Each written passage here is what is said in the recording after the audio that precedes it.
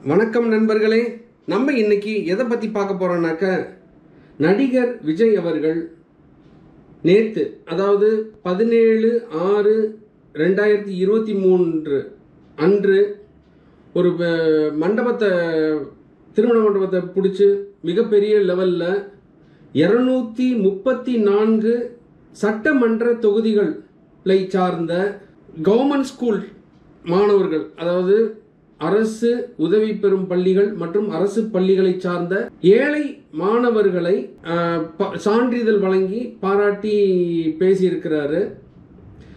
இந்த நிகழ்வு மாணவர்களை என்கரேஜ் பண்ணுறதுக்காக நடத்தப்பட்ட ஒரு விழாவாக இருந்தாலும் அந்த இருநூத்தி முப்பத்தி நான்கு தொகுதிகள் அவர் செலக்ட் பண்ணி அதில் இருந்த மாணவர்களுக்கு பாராட்டுதலையும் பாராட்டுதல்களையும் சான்றிதழ்களையும் வழங்கியிருக்கிறது வந்து அவர் அரசியல் பயணத்தை அடுத்த நிலைக்கு கொண்டுட்டு போகிறாரோ அப்படிங்கிற ஒரு நிலைப்பாட்டை எடுக்க தோணுது. ஸோ இப்போ இதை வந்து நம்ம அரசியல் ரீதியாக அனலைஸ் பண்ணுறதுக்கு எனக்கு நாலேஜ் இல்லை. அதனால் எனக்கு தெரிஞ்ச ஜோதிட ரீதியாக அதாவது சீன ஜோதிட ரீதியாக இதை வந்து ஒரு அனலைஸ் பண்ணி பார்க்கலான்னு தோணுது. விஜய் அவர்கள் பிறந்த தேதி வந்து இருபத்தி ரெண்டு ஆறு ஆயிரத்தி தொள்ளாயிரத்தி எழுவத்தி நான்கு. இந்த வருடம் பார்த்தீங்கன்னாக்க சைனீஸ் ஜோடியாக்னு சொல்லக்கூடிய பன்னெண்டு மிருகங்கள் வந்து இருக்குது எப்படி நம்ம இதில் மேஷம் ஆரம்பித்து மீனம் வரைக்கும் பன்னெண்டு உருவங்கள் இருக்குதோ அது மாதிரி சைனாவில் வந்து பன்னெண்டு மிருகங்கள் விலங்குகளை வந்து ஒவ்வொரு வருடத்துக்கும் பிறந்தவங்களுக்கு கொடுத்துருக்குறாங்க. அதில் வந்து விஜய் அவர்கள் பிறந்த ஆயிரத்தி தொள்ளாயிரத்தி எழுபத்தி நான்காம் வருடம் வரக்கூடிய விலங்கு எதுன்னு பார்த்தீங்கன்னாக்க புலி டைகர் ஸோ இந்த டைகர் இல்லை பிறந்தவங்களோட முக்கியமான குணநலன்கள் அப்படின்னு பார்த்தீங்கன்னாக்க ஆட்சி அதிகாரம் மிக்கவர்கள் கொஞ்சம் ஸ்டெபானஸ் அவங்கக்கிட்ட இருக்கும். அதே மாதிரி லீடர்ஷிப் குவாலிட்டிஸ் அவங்கக்கிட்ட இருக்கும். நல்ல சொஃபஸ்டிகேஷன்ஸை விரும்பக்கூடியவங்க ஆடம்பரம் ஆடம்பரத்தை வி- இருப்பாங்க.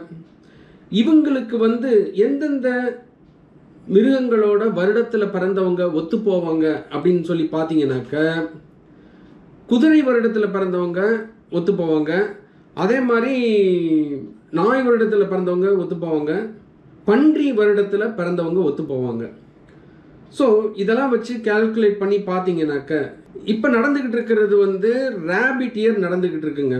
ஓகேங்களா? இப்போ ரெண்டாயிரத்தி இருபத்தி மூணு வந்து ரேபிட் இயர் இது வந்து அவருக்கு ஒரு சாதகமான ஒரு சூழ்நிலை உருவாக்கி தரும் அரசியலில். ஓகேங்களா?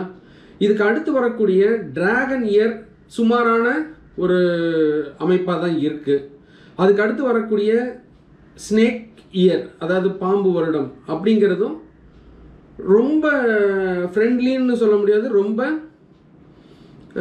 எனிமி அப்படின்னு சொல்ல முடியாது. அடுத்து வரக்கூடிய மூன்று வருடங்களும் சுமாரான வருடங்களாக இருக்கும். ஆனால் அதற்கு அடுத்து வரக்கூடிய ரெண்டாயிரத்தி இருபத்தி ஆறு பார்த்தீங்கன்னாக்க ஹார்ஸ் இயராக வருது. ஹார்ஸ் குதிரை. குதிரை அப்படிங்கிறது வந்து டைகர் இயரில் பிறந்தவங்களுக்கு மிகவும் சாதகமான ஒரு அமைப்பாக இருக்குது ஸோ அந்த டைகர் வருடத்தில் பிறந்தவங்க ரெண்டாயிரத்தி இருபத்தி ஆறில் வந்து அவங்களுக்கு சக்ஸஸ் ரேட் மிக அதிகமாக இருக்கிறதுனால ரெண்டாயிரத்தி இருபத்தி ஆறு அன்று அந்த வருடத்தில் வரக்கூடிய சட்டமன்ற தேர்தலுக்கு விஜய் வந்து ஒரு கணிசமான அளவு ஆட்களை இரநூத்தி முப்பத்தி நாலு தொகுதியிலையோ இல்லை அதில் பாதி நூறு தொகுதியில் கூட நிப்பாட்டுறதுக்கு வாய்ப்புகள் மிக அதிகமாக இருக்குது அதில் குறிப்பிட்ட அளவு சீட்டுகளையும் ஜெயிக்கிறதுக்கு வாய்ப்புகள் இருக்கிறதாக சீன ஜோதிடம் வந்து சொல்லுது இதில் ஆராய்ஞ்சு பார்த்ததில் அந்த மாதிரி ஒரு அமைப்பு இருக்கிறதா தெரியுது ஸோ வாங்க பார்க்கலாம் ரெண்டாயிரத்தி இருபத்தி ஆறு விஜய்க்கு எவ் எந்த அளவுக்கு அரசியலில் ஏற்றத்தை கொடுக்கும் என்பதை பொறுத்திருந்து பார்ப்போம் இந்த வீடியோ பார்த்துருந்த உங்கள் அனைவருக்கும் நன்றி கலந்த வணக்கங்கள். நன்றி வணக்கம்.